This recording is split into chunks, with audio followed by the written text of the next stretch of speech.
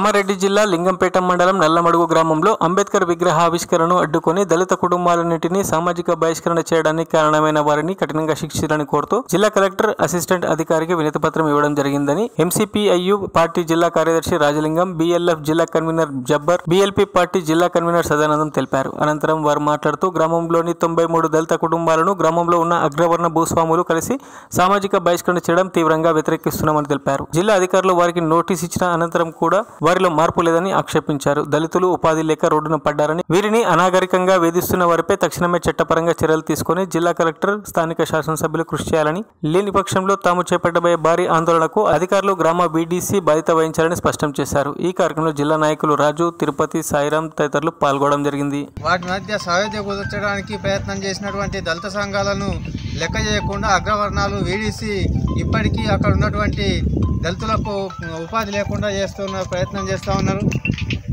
ఆ ప్రయత్నం వల్ల ఈరోజు అన్యాయంగా వాళ్ళకు కార్మికులకు పేదలకు కుటుంబాలకు రోడ్డున పడే పరిస్థితి ఉన్నది. ఈ పరిస్థితి నుంచి కాపాడాలని చెప్పి బహుజన్ లెఫ్ట్ ఫ్రంట్గా అదేవిధంగా ఎంసీపీఐ పార్టీగా డిమాండ్ చేస్తా ఉన్నాం. అధికారులు అక్కడ ఉన్నటువంటి పెత్తందారులకు నోటీసులు పంపించినా కానీ వాళ్ళ వైఖరులు మార్పు రాకపోవడం సిగ్గుచేటు. దాన్ని ఇప్పటికీ అయినా కానీ జిల్లా స్థాయి అధికారులు సీరియస్గా తీసుకోవాలని చెప్పి కలెక్టర్ గారికి రిప్రజెంటేషన్ ఇవ్వడం జరిగింది. అధికారులు కనుక స్పందించి దాని మీద సమస్యను పరిష్కారానికి సత్వరం చర్యలు తీసుకోకుంటే రాబోయే కాలంలో బహుజన్ లెఫ్ట్ ఫ్రంట్ ఎంసీపీఐ పార్టీగా పెద్ద ఎత్తున ఆందోళన కార్యక్రమాలు చేపట్టాల్సి వస్తుంది. దానికి జిల్లా అధికారులు గ్రామంలో ఉన్నటువంటి వీడీసీది బాధ్యత అని చెప్పి సందర్భంగా మేము స్పష్టం చేస్తా ఉన్నాం.